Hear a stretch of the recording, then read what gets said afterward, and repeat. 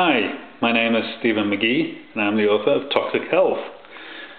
Now we're here today to look into LED light bulbs. These are starting to become popular and we're going to look into the frequency effects on the human body. Now we're going to use a oscilloscope to look into the frequency effects. This oscilloscope has a fast Fourier transform function and we're currently set on to 100 megahertz per division. Now, the grounding connection is actually connected to a ground rod that I have in my garden, which is a non-electrified ground rod, it's far away from any electrical systems.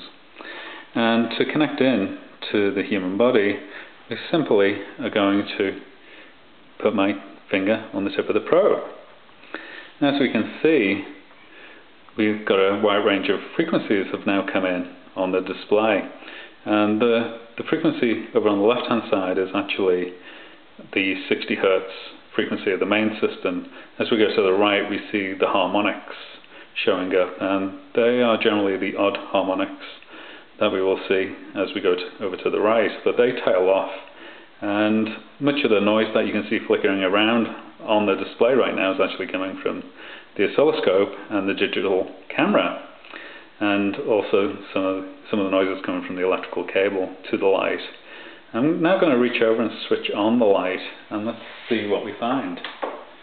So our LED light has just come on and as we can see as we reach over to the LED light a wide range of frequencies appears on the human body and we've seen all the noise level come up and if I one of the interesting things about these LED lights is if you touch the base of them, the what appears to be aluminum base, it actually puts a whole range of extra frequencies onto the human body.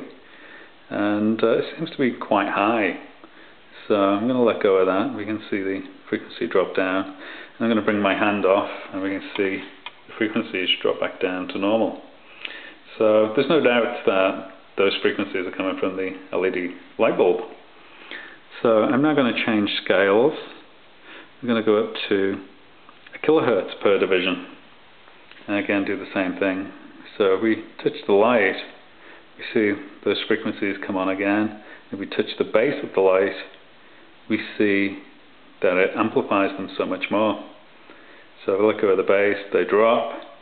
If I let go of the light bulb, they drop back down. And it's a distance related phenomenon it couples in through the air. You don't have to be touching the light bulb for these frequencies to couple into your body. And they seem to extend out by about three feet from this particular light bulb.